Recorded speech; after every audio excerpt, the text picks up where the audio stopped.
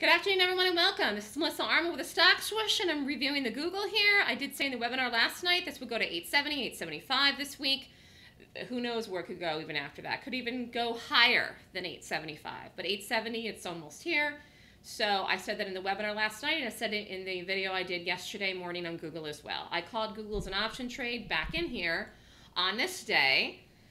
So this was a great great move. I called it as 850 calls expiring, and you had two picks to do the expiration dates, but the one they're out for this Friday actually turned out to be the best. This was a huge trade yesterday. If you did it in here and got out of it yesterday, great. If you're still in it, even better.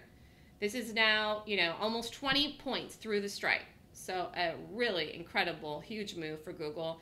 And I saw that it would do this, and you know, it's just one of these things. I'm very good at reading price action and gaps, and and it's moving and it's with the market, and the market is it, it just looks great too. So everything here that's strong is going and moving, and it's making the move, and Google is one of them. So great job in here for the people that did do the option in this Google, and it was a huge, huge move and a big call.